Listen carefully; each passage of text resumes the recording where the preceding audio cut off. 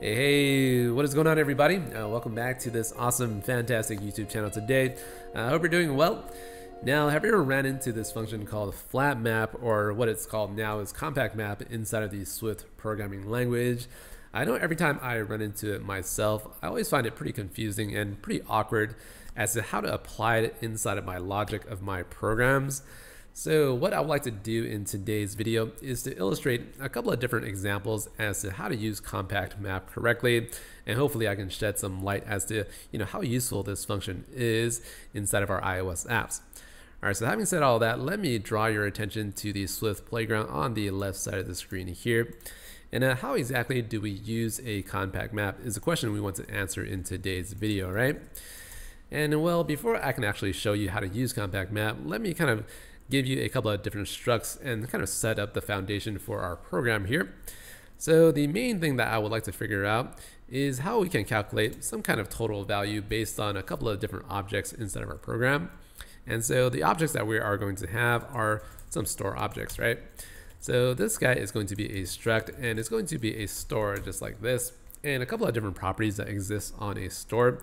I'm going to just make it up right here. I'm going to call this electronic. So electronic hard, so trying to hard, going to spell this guy correctly. And this is just going to be a simple array of string objects like that. And uh, perhaps we can also give this thing a name as well. So a very simple struct type of class.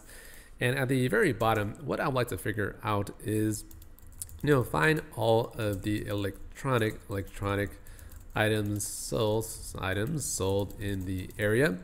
And so that's a question I would like to kind of figure out. And the way I'm going to set this up is to create a couple of different store objects. So let's call this guy target. Uh, you'll find a lot of targets out here inside of California on the West Coast. And I'm going to call this guy a store object, create it using a name. So obviously we are going to call this target or target. Uh, on the right side, we are going to give this guy a couple of different electronic hardware that you know this store sells. So I think every time I walk inside of the target electronics section, I see some iPhones and also some iPads. Let's spell this guy iPad. And you know, maybe some uh, flat screen. So I think this is one word, flat screen TVs. And you know, basically this is how a Target store is set up. Uh, next up, we are going to declare another one of my, you know, maybe not so favorite stores out here. Let's call this uh, Best Buys. And very similarly, like Target, we are going to construct a name of Best Buy. Some people call it Worst Buys. Uh, electronic hardware. Uh, what do they sell over here? I think they kind of sell very similar items. So, you know, laptops and uh, big fridges or fridges like that. You know, whatever you want to add inside of here is okay. And then lastly, we have a couple of different stores uh, outside in the Dublin area, which is where I'm currently living. Uh, we have some stores like Bed and so Bed and Bath and Bed Bath and Beyond. I think they're called so Bed Bath and Beyond like so. So this store is a little bit trickier because uh, they don't exactly sell a lot of electronic hardware. So what we can do is for the second property, you can just declare an empty array like that. It doesn't exactly make sense to declare it using a blank array, but you know that's what we'll do for now because our struct right here isn't able to support anything else. So that's what we'll do. And this guy we'll call bed, bath, and beyond. So I'll just use an ampersand there. Okay, so here we go. We have these three stores uh, kind of set up like so, Target, Best Buys, and Bed Bath Beyond. So the next thing I'd like to do is to figure out all of the different electronic items that are sold inside of these three stores. And you know, like any other programming language, there's a lot of different ways to do this. Uh, the quickest and dirtiest way is to do this right here. So let uh, items equals target dot electronic hardware plus best buy dot electronic hardware like that, and also do the same thing for bed, bath, and beyond. So dot electronic hardware you know, it's very simple. Access the property on the store object itself.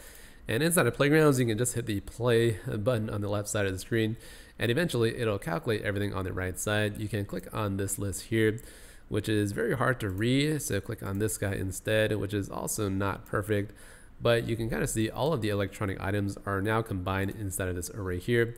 I don't exactly like seeing that, so I'm just going to just print items on the very bottom and run one final time. you'll see iPhone, iPad, flat screen TVs, laptops, and big fridges on the very bottom. Okay, so this is a very basic way of calculating these items right here. Uh, the problem with using this approach is that every time you add a new store, you have to go something like, uh, you know, add this thing at the very end, new store dot electronic hardware.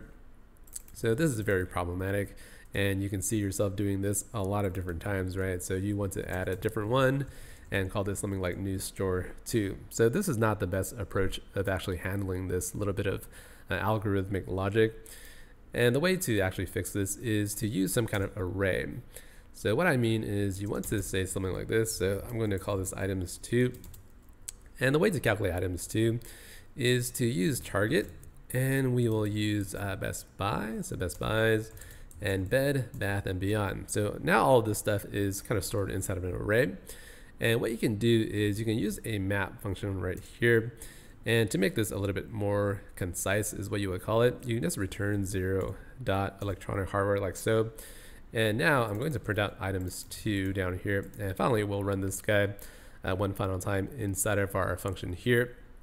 And as you can see, uh, the array that you're getting back is a multi-dimensional array. And so the first one starts here, and then the second one starts here. And then we have the third empty array at the very end there. So not exactly perfect. And uh, what you can do instead is you can use a flat map to you know flatten all of the stuff inside of here. And I always forget how to apply this logic correctly. So let's change this guy to flat map like that and keep the right side uh, very similar. I'm going to run this guy one more time and see whether or not it works. And it looks like it does. We have iPhone, iPad, uh, flat screen TVs, laptops, and big fridges. So everything up to this point of the program looks, you know, looks relatively okay. Uh, the next problem that you'll encounter is for a lot of these stores right here, such as bed, bath, and beyond. I was mentioning earlier that using an empty array to store electronic hardware for this particular store doesn't exactly make any sense because this store has really no reason to sell electronic hardware. And so for stores like Bed Bath & Beyond or maybe some kind of pizza shop, this guy right here, you might want to declare it as an optional array instead. So I believe this is going to be okay. And once you make this guy optional, you know, you might want to make this a var instead.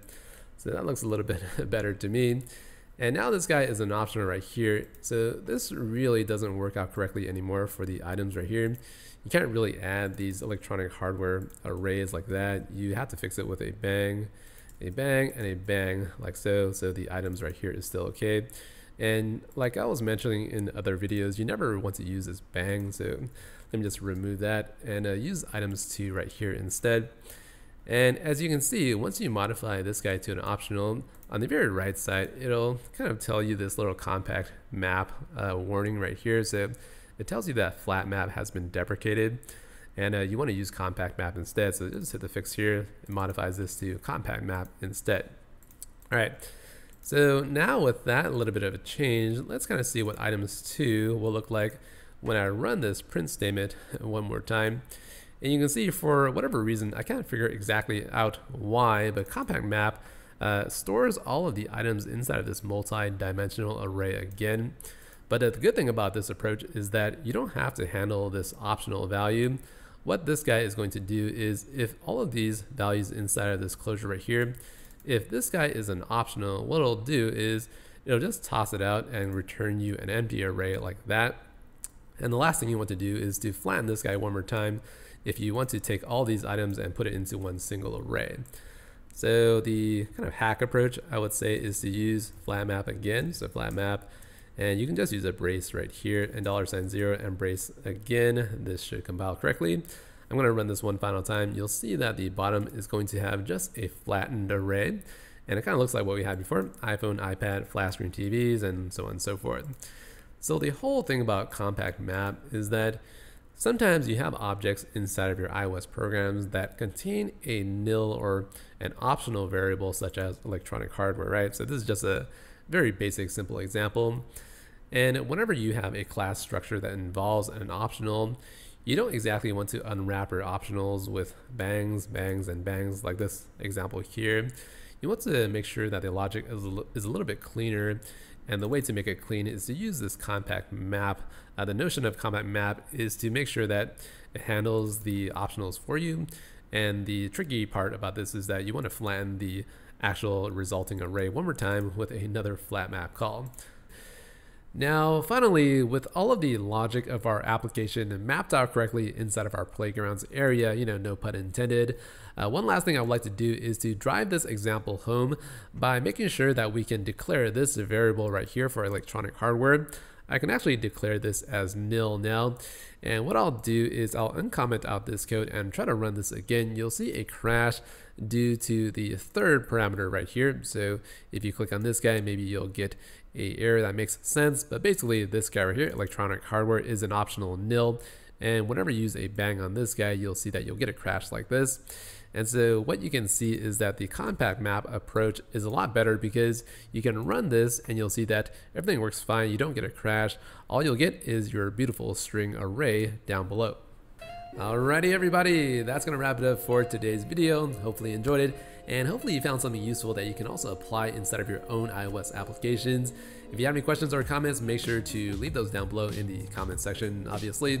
Uh, if you want more videos like this, make sure to also subscribe to the channel. If you want to learn more about modern iOS application development, make sure to check out the couple of courses using the links in the description below. That's going to be it for today's video. Hopefully I'll see you in the next video. Bye guys.